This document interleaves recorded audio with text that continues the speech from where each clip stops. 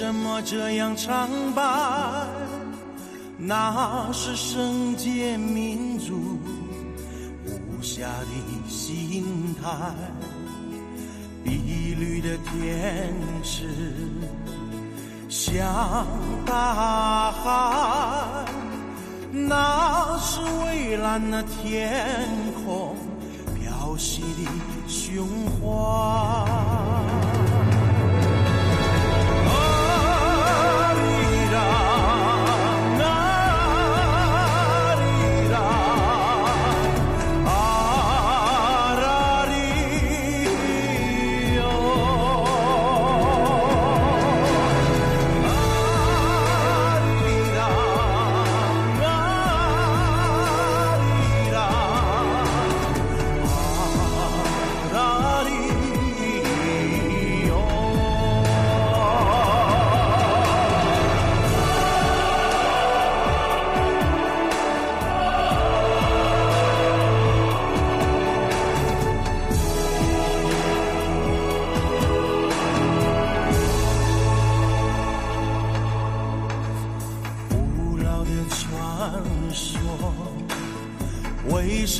经久不衰？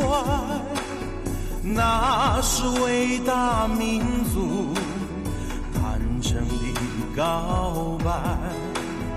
高耸的群峰，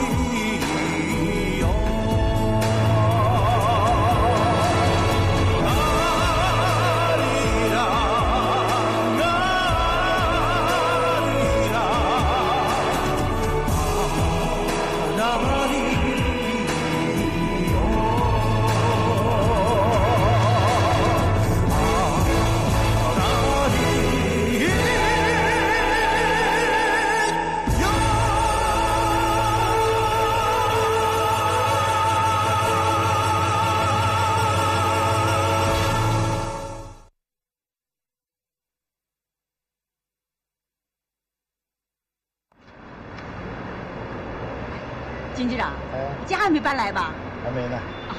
你那哪天晚上有空，你到我家来坐坐。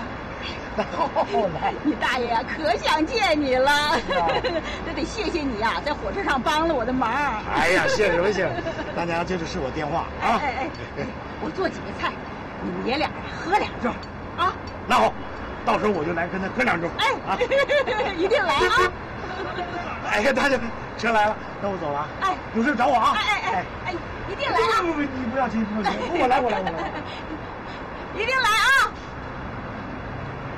你小子在火车上，你咋不告诉我呢？告诉你，在火车上我还没接到通知啊！快下车吧。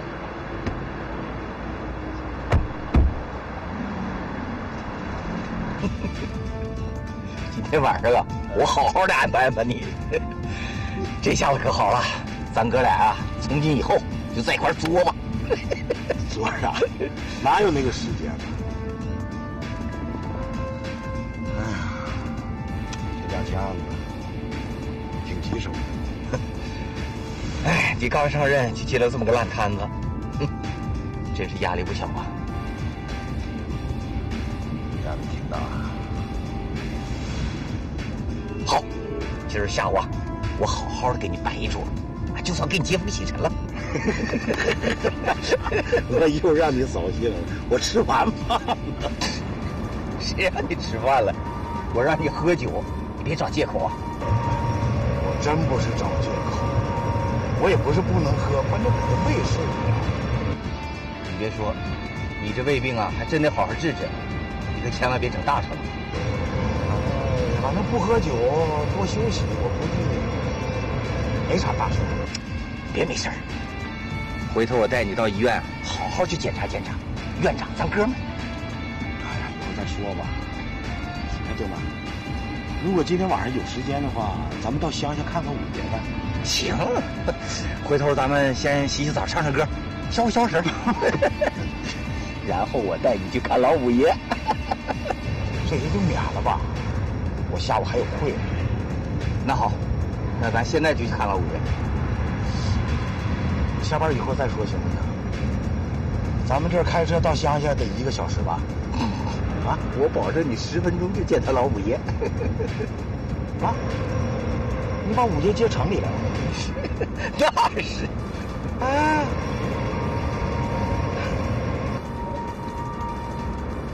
你盯我看什么？不是，这小子够神的，你。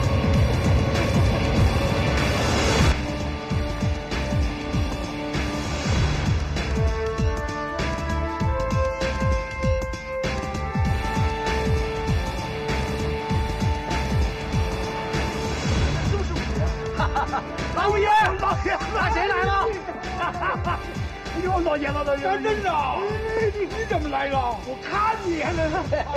怎么样？我身体好吗？好。哎，哥真呐，我问你啊，这不年不节的，你跑这来干什么？想你了。这俩小子哟。老五爷呀，哎，我告诉你个好消息。什么消息？张震呐，调到咱们县当公安局局长了。哎呀，这个太好了，是吧？咱们爷仨啊，以后可常见面了。我跟你讲，时间长了，我可想你们了，我老五爷子。那我就来。五爷，你啥时候来的？我去年就来了。德满给我拿的钱，说我在农村呢，一个人孤孤单单的，给我弄县里来了，还没告诉你呀？没有，我这这当会我说的呢。你怎么不告诉他呢？我傻小子。这不，你工作忙，离这又那么远，我先见了面再告诉你嘛。见面干啥呀？这回好了，五爷，咱们经常能在一起了。好啊，走走走，进屋聊。哎，走，小子。哎，这事儿我可帮不了你。卷宗啊，都在刑警队，材料呢，局里面有规定。破案之前呢，不能见报啊！报道一下对犯罪分子也有个震慑作用嘛。有什么不能写的？把案子登到报纸上，犯罪分子不就会研究反侦查的手段了吗？建峰，你就帮帮我吧。总编知道你是我的男朋友，特地安排我来写这两个案子的报道。你要是不帮我，我回去怎么交差呀？你交不了差呀，那是小事儿。我要是把案情捅去，我怎么向局里面交代我？你这是不帮我了？金花，你就简单的报道一下，让读者知道这是怎么回事就行了。我明白了，你根本就没有案情可以告诉我。其实你们对这两起案子的调查根本就是毫无进展，一筹莫展。哎，你可别瞎说啊！我们已经掌握了大量的证据，马上就能抓到凶手。行了，你别自欺欺人了。我才不相信你们呢！你不信我没关系，你只要相信公安局就行了。你就说句痛快话，借不借吧？等案子破了，犯罪分子抓住了，我肯定借你。啊！等你们抓住犯罪分子，那得猴年马月呀！再说了，这个案子靠你们破，能不能破还不一定呢。行了，我不借了，这个费劲。哎，你怎么动不动就生气呀？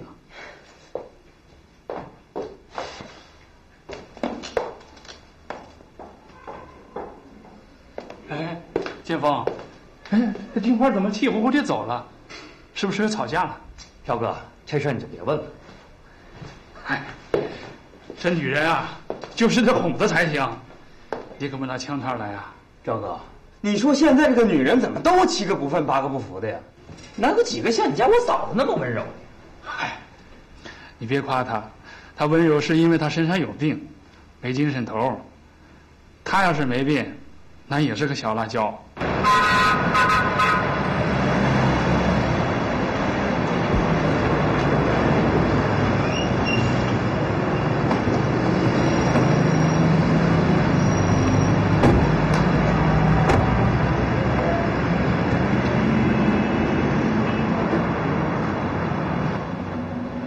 你看什么呢？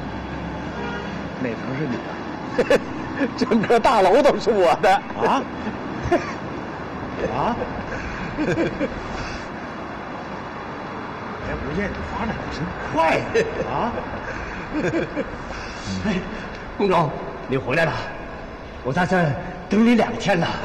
老孙呐，呃，你看我还有客人，那回头怎么样？别别别，你们你们聊你们聊，我看。老孙，这样，过几天啊，咱们俩再好好唠唠啊。哎哎，公主，我再不把乡亲们钱拿回去，他们就要抄我的家了，这我也是实在没办法。你帮帮我，嗯，你帮帮忙，就算我求你，一共是十万块钱，你经经手，要不我真的不好不好跟大伙交代，他们都认为这钱是我独吞了。你说我怎么帮你？现在公司没钱，你又不是不知道。那这样吧，你下个月来，然后我想办法给你凑一凑啊！哎，哎，公主，大上个月你说上个月帮我凑凑。上回你也说过，下回帮我瞅瞅。你看看到现在一点消息都没有。哎呀，你这么磨叽！哎，公主，你能不能给我一个准信儿啊？啊，那我好回去向人家有个交代嘛。我怎么给你个准信儿？你也不能老支我呀，公主。你说句痛快话，再过一个月能不能把钱给我呀？那这样吧，再过俩月，到那个时候你来找我，我估计没问题。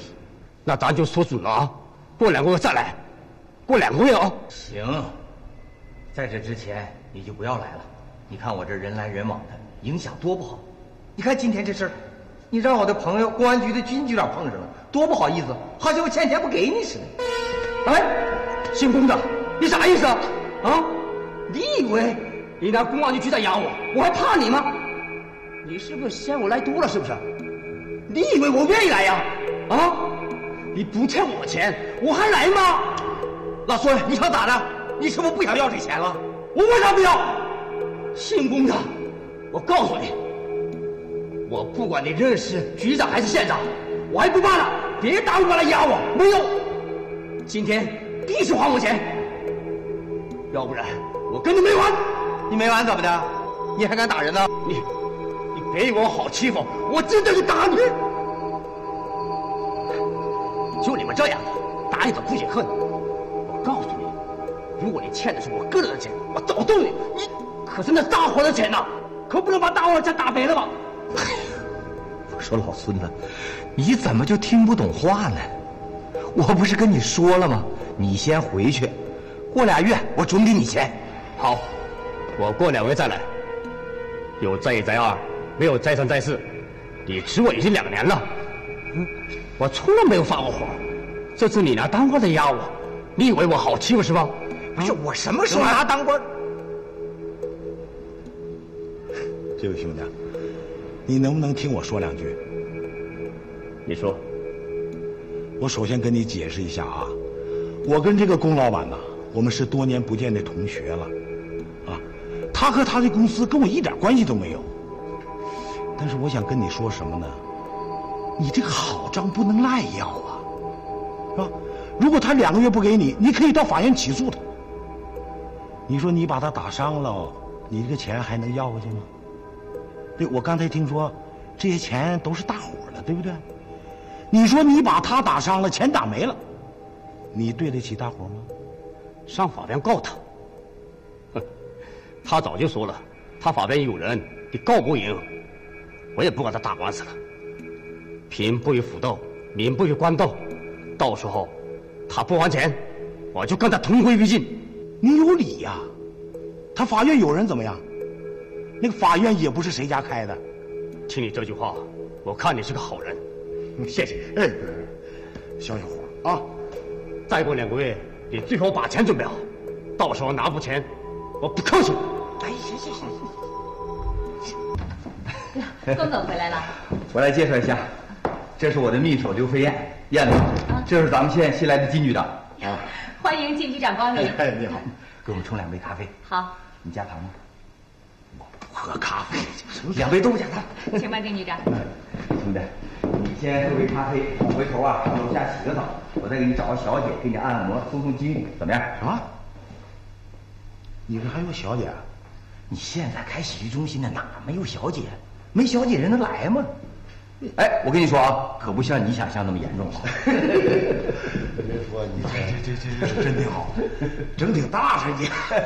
坐吧，不是我坐哪儿啊？坐哪儿就坐董事长那座呗。那么紧张，坐下来。不是，我哪敢坐那？兄弟，还可以吧？哎呀，真不错，真不错，真，规模不小啊。我说你这个生意，请喝咖啡。哎，好好，谢谢。燕子，你下去告诉餐厅给我们准备一桌，就说我有贵客。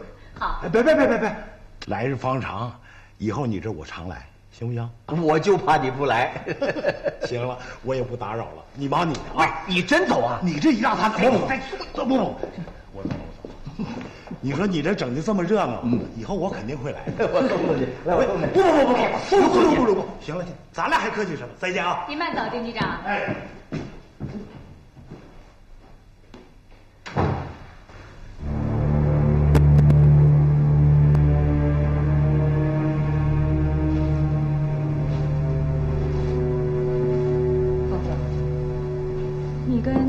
刚才那局长什么关系？发小。从小玩到大的朋友。我觉着他挺耿直的哈。哎，燕子，你去找的那个人怎么样？别提了，陈刚吧开了个食杂店，李强呢开出租车了。他们这些人呢，都让那个安亭县的公安局长金刚镇给收拾怕了。金刚镇，刚才出去那就是金刚镇了，你不认识他？他就是金刚镇。嗯。他调到咱们县来了。嗯。龚总，这种人要是到咱们县当了公安局长，咱们公司今后的生意恐怕不好做了吧？没那么严重。我们俩是从小的光腚娃娃，他总会给我留点面子。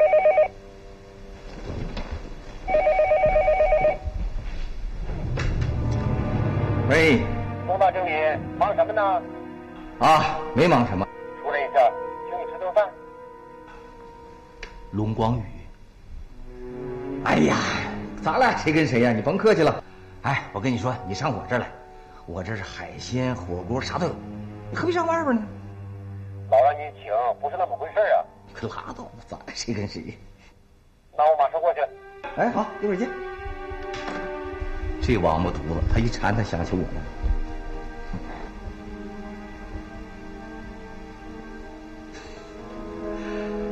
舍不了燕子，抓不住流氓。你呀，老流氓。燕子，我跟你说，你别看我是老流氓，可是像龙光宇这样的人呐，我从心眼里瞧不起他。这种人呐，你给他块骨头，他就像狗一样的咬尾巴。那金刚镇呢？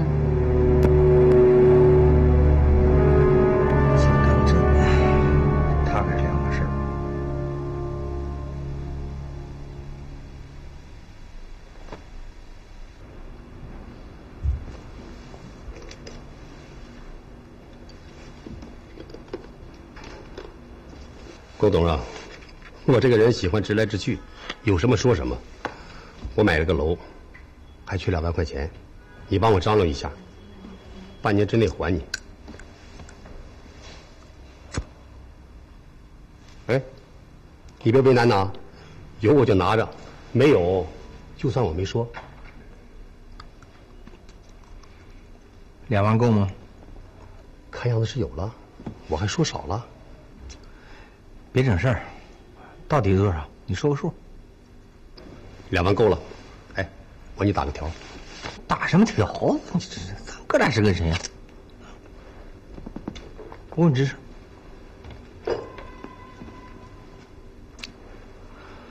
龙局，房子置上了，车什么时候来啊？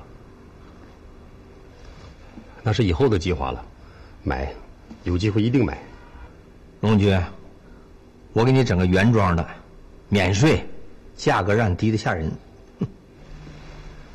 是走私过来的？对，龚总真神通啊！龙局，你啥时候要你说句话，好使。是你整的？打住！局里边有什么风吹草动，你给大哥过个话。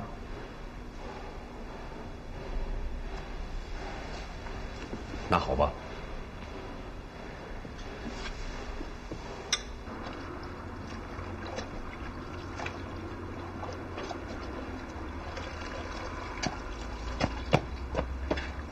春日，今天咋这么早就回来了呢？今天工地停电了。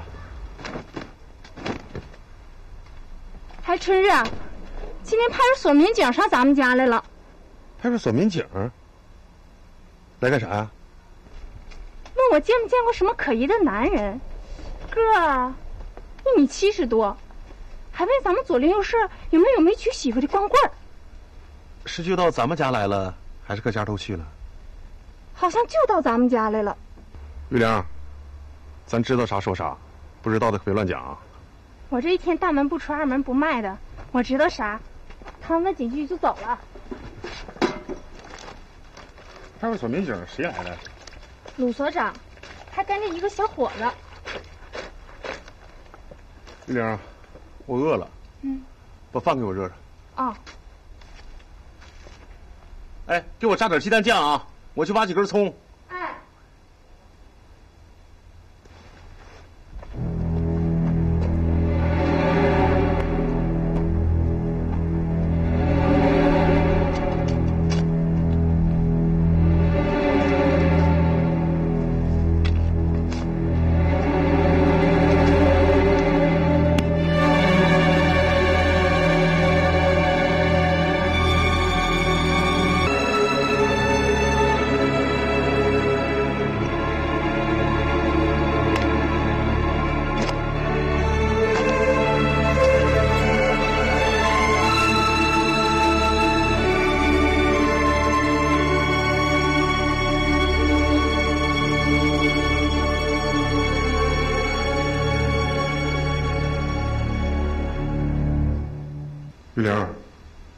咋这么看着我？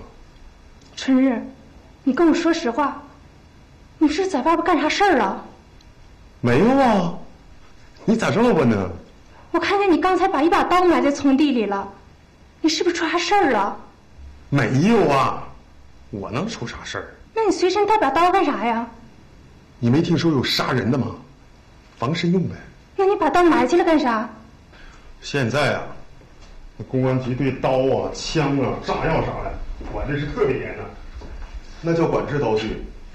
我把刀埋起来，就是怕派出所的人找我的麻烦。谁家没有刀啊？你怕啥？我不是蹲过监狱吗？他们肯定盯着我呀。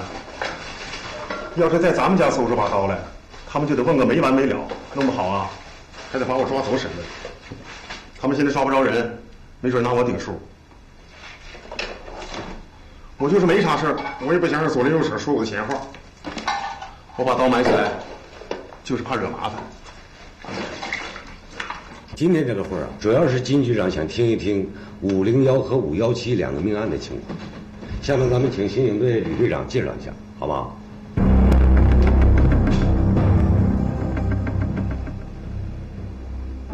幺命案呢，发生在鸭绿江中学的墙外，死者是个女性，名字叫王小英，二十三岁，家住八仙镇新野村，在站前旅店做服务员。这死者身上共有七处刀伤，有被强暴抢劫的痕迹。这死亡的时间是晚上九点到十一点之间，案犯为男性。从现场遗留下的脚印来看呢，案犯的身高是一米七零左右，体重约八十公斤。根据刀伤刺入的程度来判断，案犯很有力气，年龄应该在二十岁到四十岁之间。这个王小英有一个男朋友叫刘杰，一个月前他们就分手。我们询问了刘杰，案发当晚他不具备作案的时间，所以我们就排除了他。根据我们的排查，在案发当晚，王小英曾经和一个男人在一起走过。我们怀疑有可能是她新结交的男朋友。可是经她父母证实，王小英除了刘杰之外，没有别的男朋友。我们怀疑有可能是外地人，就问旅店老板，旅店老板给我们提供了两个人，一个姓高，家住黑龙江宾县；一个姓唐，家住公主岭。姓唐的没有走，我们对他进行了调查，他没有作案时间，而且还有证人。这个姓高的已经回了黑龙江宾县，我们已经和当地的警方联系过，他们正在协助我们调查。这个五幺七命案呢，发生在布尔哈通河防湖林的边上，死者是一男一女，男的叫赵薇，家住瓦房镇，是个个体司机；女的二十二岁，叫刘丽，家住黑龙江省五常县，在咱们县小名门酒店当服务员。这个赵薇啊，已经结婚了，刘丽还没结婚，他们俩就是情人关系。被杀的当晚呢，他们正在河边幽会。我们怀疑有可能是情杀，就对赵薇的老婆进行了调查和询问，排除了赵薇老婆雇凶杀人的可能性。同时，我们又对刘丽进行了调查，她在家乡没有男朋友，在酒店也没有。这赵薇啊，身中两刀，都扎在颈部的动脉上，我们断定是当时毙命。这个刘丽呢，身中九刀，有八刀没扎在要害的部位，她被强暴过。他们两身的钱物被洗劫了一空。我们认为，这个案犯也是个男性。根据现场遗留下的脚印来判断，身高也在一米七零左右，体重也约八十公斤。案犯在作案前，在河西派出所辖区的一个姓谭的院子里偷了一身衣服，杀人后把衣服丢弃在现场。后来我们动用了所有的警力，对河西派出所辖区的居民进行了排查。现在还没有得到有用的线索，这两个案子侦破目前还没有进展。我补充一句啊，我们怀疑啊，这两个命案是一人所为，所以我们把两个案子的资料汇总上报省厅，咱们请省厅的专家帮咱们分析一下，看能不能并案侦查。啊，小玲啊，还有什么补充的没有？哦，还有。在案发现场来看，凶手虐待女性、强暴女性，对女性极其凶残的这一点来看，案犯极有可能受到过穿红衣服女子的欺骗或者是打击。啊，当然，也排除不了一个没有老婆的光棍儿。在以后排查中，应该特别注意那些没有老婆的光棍儿，受过女人欺骗、心理不健全的人。那我就谈谈我的看法啊。根据这两起案子发生地相距不远，这个作案人呐，对这个女被害人的特殊的虐待来分析，这两起案子是一个人所为，可以并案侦查。那么我们就可以排除流窜作案的可能性。那个流窜犯他不可能在一个地点同时做两件同样的案子，啊，那我们下一步重点是什么呢？那就把排查的重点放在当地的这个刑满释放人员，还有前科劣迹的人的身上。所以就对不起大家了，从明天起，全局民警取消节假日，展开大排查。我只强调一点，排查工作一定要细，绝不能放过任何一个可疑人，哪怕就说细微的那那些线索。我们也不要放过。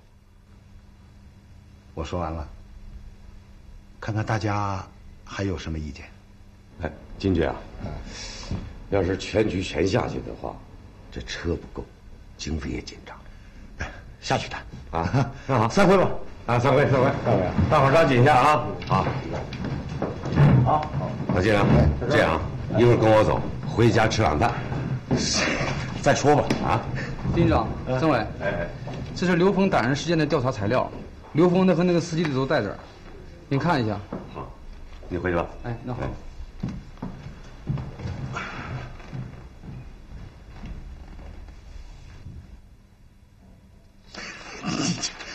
这个刘峰啊，刘峰啊，他把他把 把我气乐了都。这，不是这个脑子有问题，我这小子。这个司机是酒后驾车，是违章的。你要按那个正常程序办呢，他这个司机现在在拘留所呢，他的好，梆家给人一拳，自己进紧闭室了。你，你说这人老百姓怎么看咱们？现在这司机啊，醒酒了，这不他说，打人的事儿啊，不怨刘峰，是他酒后驾车，刘峰制止他，哎，他借着酒疯，哎，先打了刘峰。哎呀，刘峰在无奈之下呀，还的手。我看这样行不行？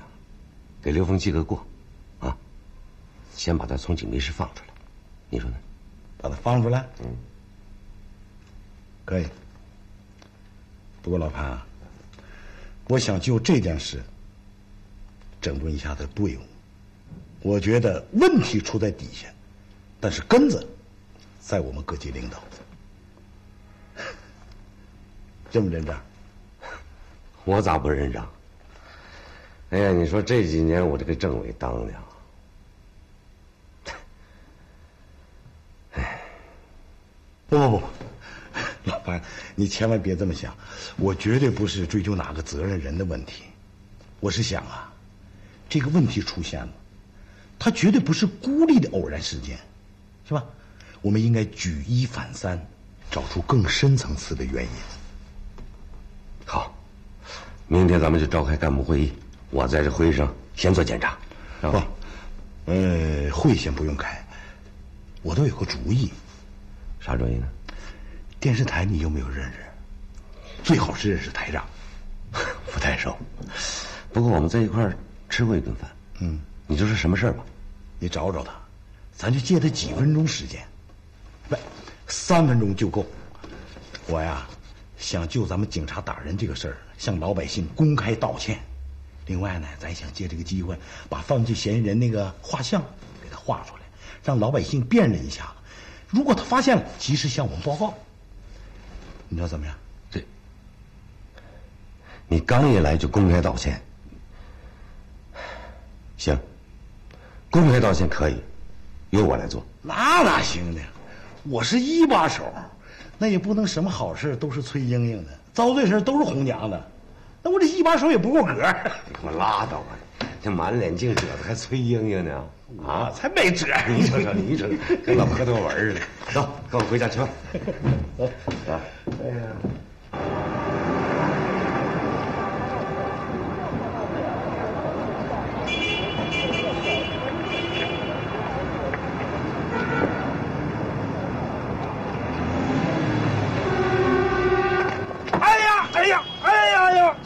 下下下下下下下下下！什么事？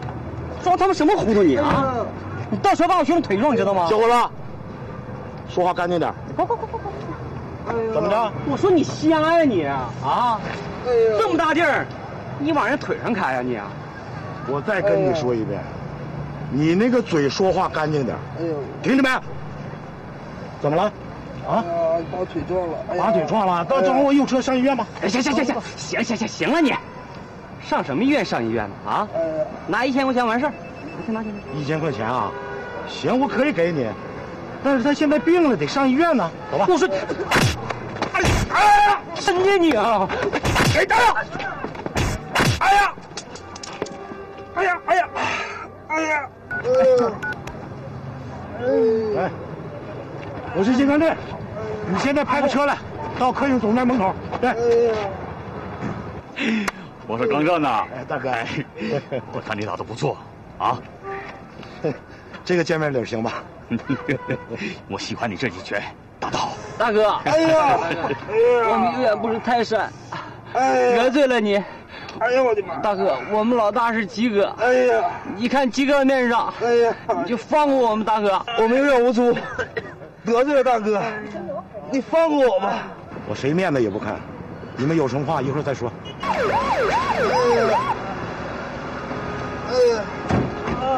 来了！哎呀！咱俩带走了。哎呀！哎呀！哎呀！轻点！哎呀！哎呀！哎呀！哎！哎！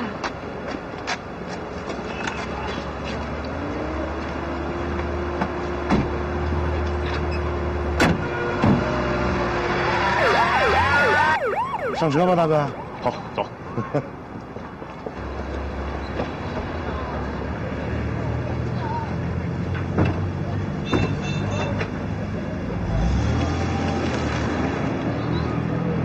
我叫金刚镇，是刚上任的沿江县公安局局长。准确的说，我是今天早上才上任的。所以在这里啊，我要占用大家几分钟时间讲两件事情。第一件事儿，今天中午，我们有一位交警动手打了一位汽车司机。这件事儿，我不问谁对谁错。警察打老百姓，这是天大的错误。所以在这里，我代表公安局，代表那位交警，向这位被打的司机说一声对不起。希望大家能够原谅我们。应该说啊，公安民警这支队伍主流是好的，全国民警一年牺牲四五百人呢。受伤的成千上万，也就是说，人民警察时时在流血，天天有牺牲。可是人民群众还对我们警察有意见，不满意呢。这现在警察确实不像了。我们警察像他这么在电视这么说，不太合适吧？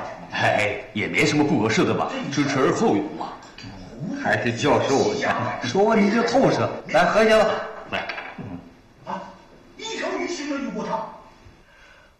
我了解了一下，就是我们打人这位交警啊，是个很不错的同志啊，挺敬业的，因为常年在外站岗，年轻轻的就落了个关节炎的毛病。今年上半年就收到了群众表扬信三十多封，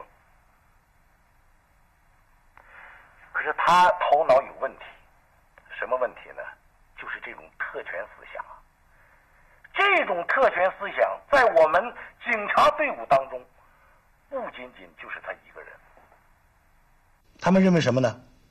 我是警察，警察是管人的人呐，是吧？那我说了你就得听，是吧？我就是法，所以导致了粗暴执法，伤害了人民群众的情感，侵害了人民群众的利益。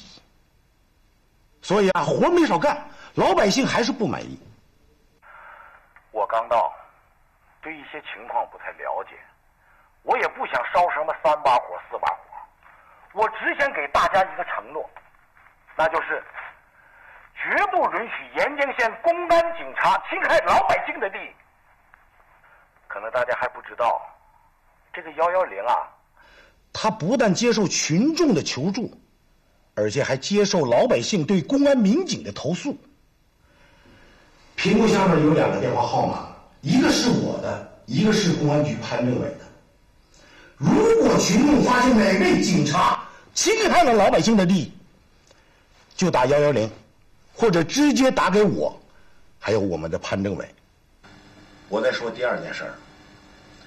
最近沿江县发生了两起抢劫杀人案，这个案子到现在……国祥，你快看，群众公安局新来的局长讲话多精彩，产生了恐慌心理。你说精彩，那肯定这件事，我还要说一句。你这个书呆子，对不起。出了人命案，公安局不能及时破案，真是对不起受害人和老百姓啊。可是就这件事，你说一百个对不起有什么用啊？你抓不住案犯呐，你抓不住案犯，你公安局就要摘牌了。我这个公安局长得保住这个牌子，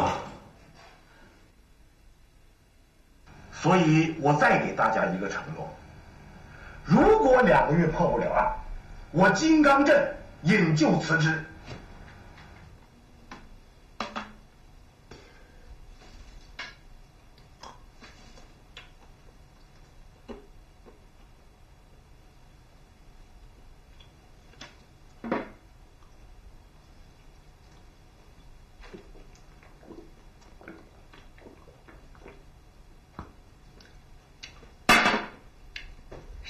啥节目？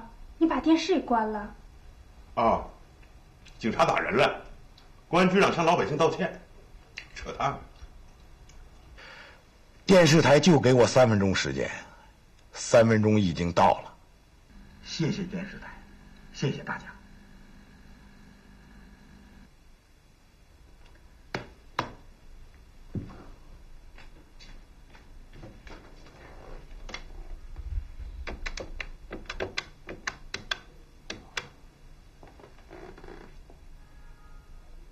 喂，我找大明星。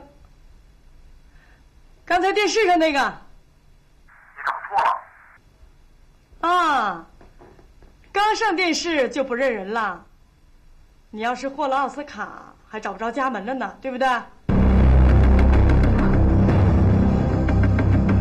呀，于德满，对不起，来我了，来，你真是与众不同啊！哎呦，大哥，走走走走走。李先生，高真呐，真是在电视上敢于承认自己错误的领导，我从来都没见过。为了你这种勇气，我敬一杯。这不是揭短处，我就是告诉大家，我要成真格来了。哎，来来来，大哥大哥，哎呀，谢谢你啊。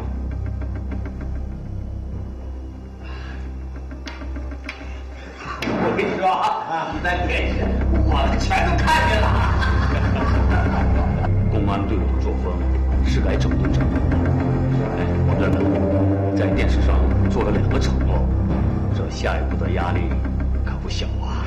大哥，这不仅仅是我个人的压力，整个沿江县一千多名警察都得承受这个压力。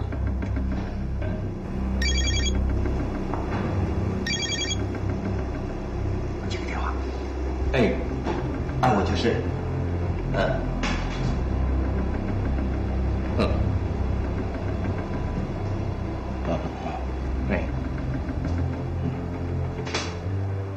你说啊，我现在有客人，回头我给你打过去，好不好？好嘞，就这样。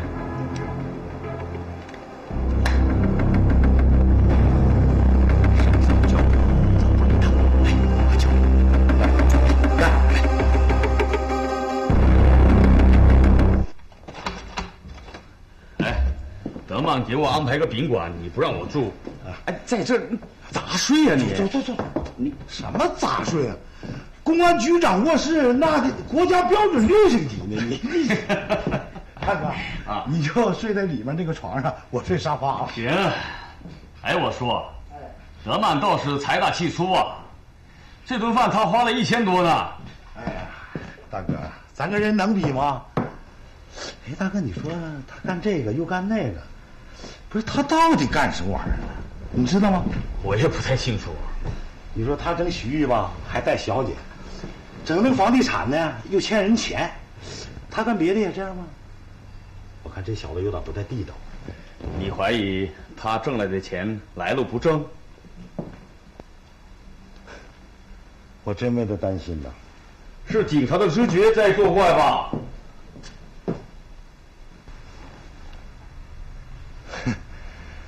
但愿我的担心是多余的。